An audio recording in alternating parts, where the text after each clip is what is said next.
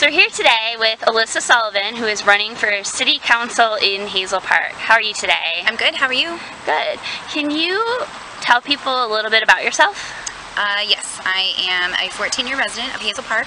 Um, I grew up in Berkley, and um, I like the community here. I'm a bartender currently. I uh, volunteer a lot of my time with some animal rescue groups, some outreach groups in Southwest Detroit. Um, I've recently gotten involved with some of the programs here in uh, Hazel Park, and uh, that's about it.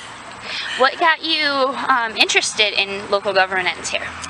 Um, honestly, the first things that got me in, involved were um, some dog issues here in the city. Started to attend the city council meetings, um, really saw how the city worked and saw maybe a need for a little bit different perspective on some other things that were going on here. So what are um, some of the issues that you would like to tackle on City Hall? Absolutely. Um, part of my platform, I um, I strongly believe in volunteering. It's something that I'm passionate about. It's something I've been involved in 17, um, 11 years, pardon me. And um, there are a lot of groups here that volunteer in the city, but there's no kind of central centralized data for anybody to reach out to those uh, organizations. So one of the things that I would like to do once elected is to uh, reach out to the volunteers in the in the city and the civic groups and get a compiled database for people to if they have a need to reach out or if they want to volunteer to reach out and then also see what areas aren't being addressed and maybe reach out for help from other sectors to kind of bring those areas into more um, available volunteer situations. Um, that's one thing. Um, another thing in the city is uh, we really need to have transparent government. We need to be to have an accessible um, city council, accessible mayor. Um, currently, our website is maybe not always updated. Our um, our technology is not always um, being maintained to what I feel would be a beneficial amount. So easily accessible information, um, easy to understand information, and information that citizens can can see uh, online, on Twitter, on Instagram, on um, YouTube. We have a YouTube channel that is um, very underused. So those are all things that I'd also like to address and get up to par. issue in our uh, city, um, we have a kind of lack of recycling. We're a city that um, definitely has issues with um, with cost. You know, we come from a lot of uh, fixed income residents, and um, one thing we do is throw away garbage. We have to pay for that. When we um, recycle, we get a refund. We get a rebate for that. So um, an option is to really encourage uh, recycling in the city and to get the local businesses on board as well because then that money can then be reinvested to more recycling programs and eventually that rebate could possibly even out a little bit of the cost of our hauling and our waste disposal here in the city, some of the sewage issues that we've been seeing um, on our taxes going up. Um, another thing is uh, encouraging and maintaining our downtown area, our district, our uh, businesses that are coming into the city, as well as the businesses that have been here and stayed here. Um, I really want to promote the businesses that are currently here, as well as seek new business opportunities for outside industry. Um, we've got the two new businesses coming in, and I think that's giving our city a lot of attention, so it's a good time to kind of spring on the opportunity and keep that momentum going of people talking about us being people being excited about Hazel Park.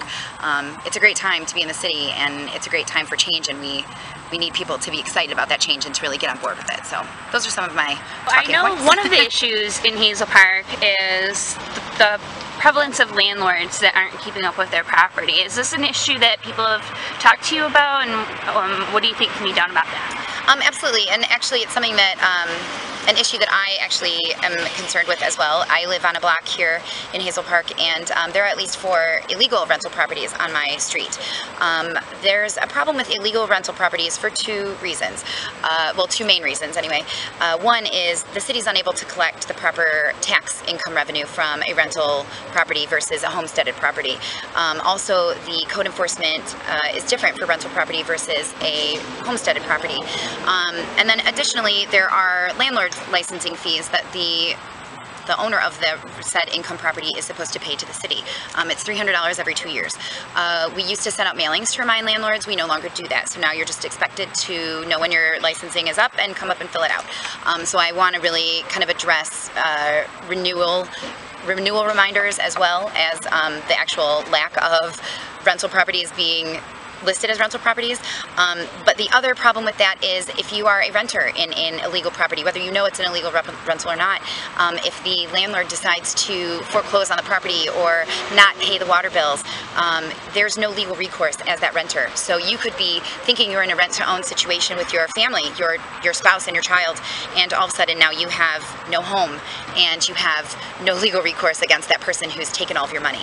Um, so that's really sad to me. I don't want my city broken down. I don't want my city um, to be in a situation where people are homeless. Um, it's unacceptable and it's and it's not necessary. And uh, I think that's something we can better address. So I think that some people in Hazel Park are familiar with you because you were an advocate for um, the dog issue that was happening. Can you talk a little bit about that situation? Absolutely. Um, it is it is definitely the truth. That's how I became involved more in city politics. Um, the situation here in Hazel Park was um, met with a little hesitation from council.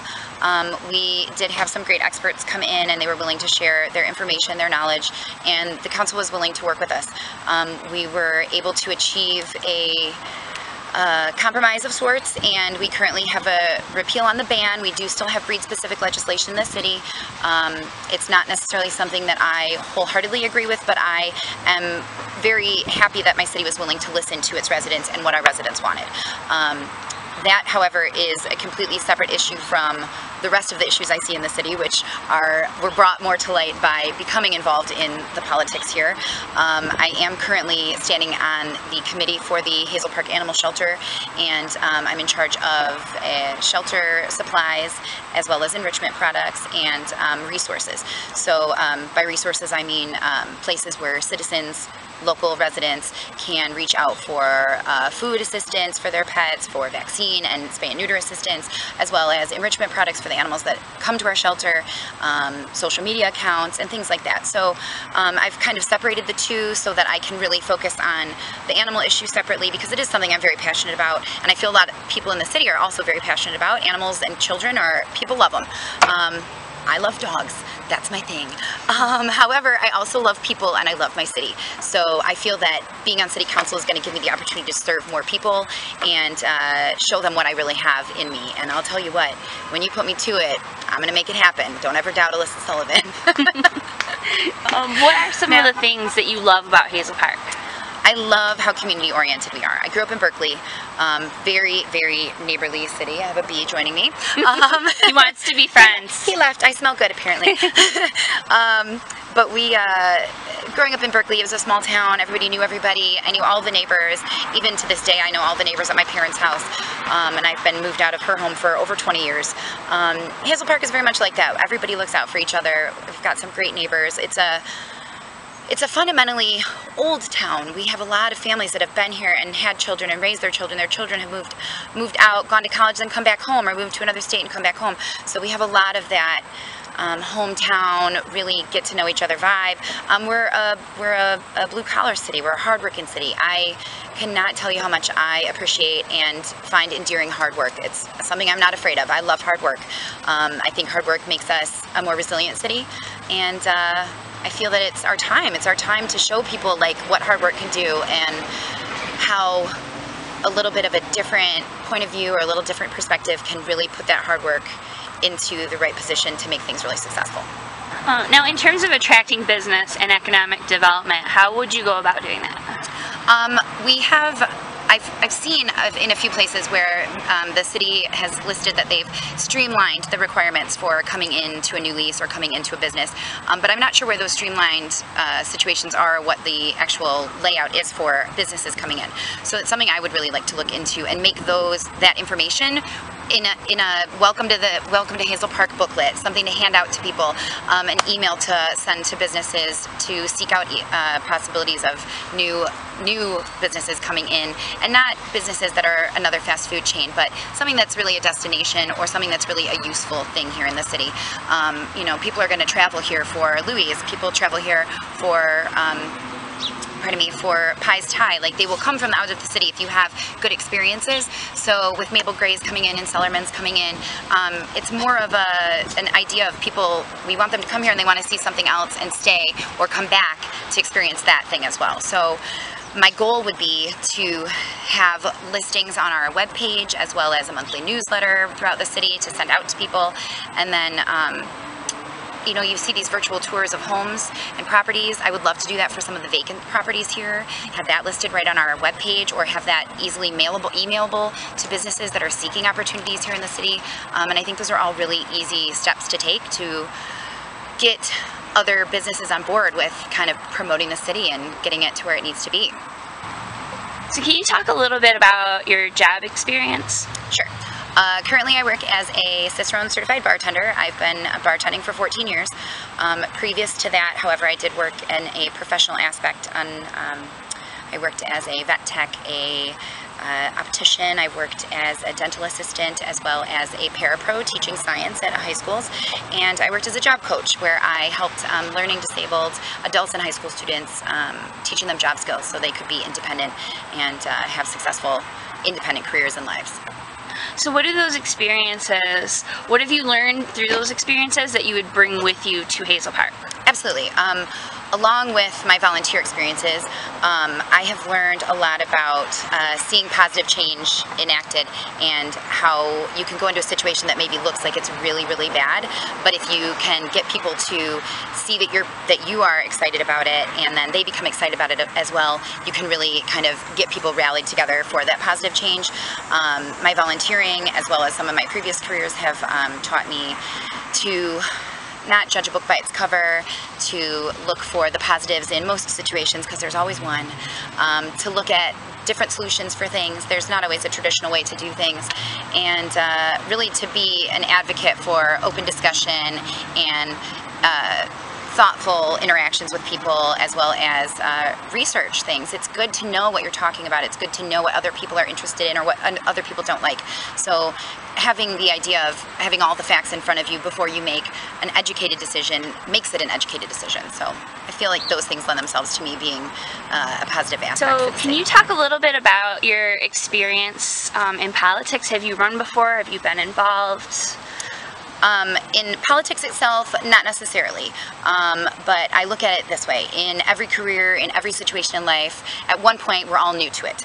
Um, my goal in life is to learn and to be a solid advocate for the things that I'm passionate about. Um, this opportunity has afforded me a lot of experience. Um, I signed up for a, uh, a two-day what's the word? Help me with the word. Conference? Yes, thank you. A two-day conference in Detroit uh, next week on uh, inner city development and economic stability. Um, so I'm learning about things that are important to our city as well as important to me.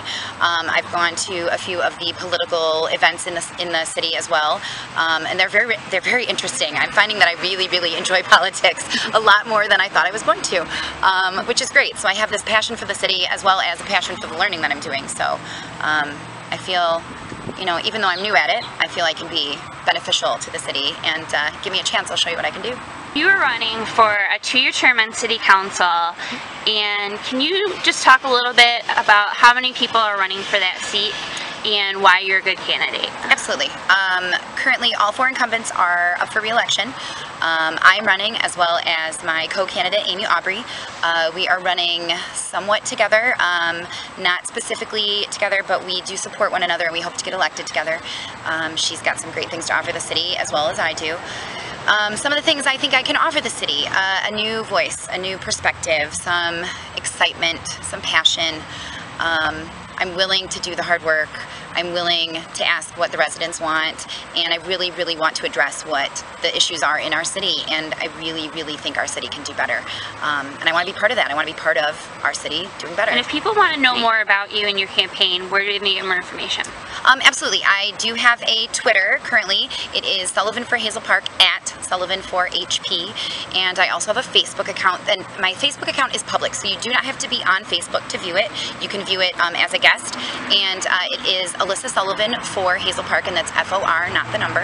Um, and on there I have my campaign, um, my platform, I have my campaign speaking points, and then each week I'm doing another speaking point. Um, I do plan to have a uh, meet and greet here, meet your candidate here in um, hopefully October at the House of Shamrocks. That'll be posted on there as well.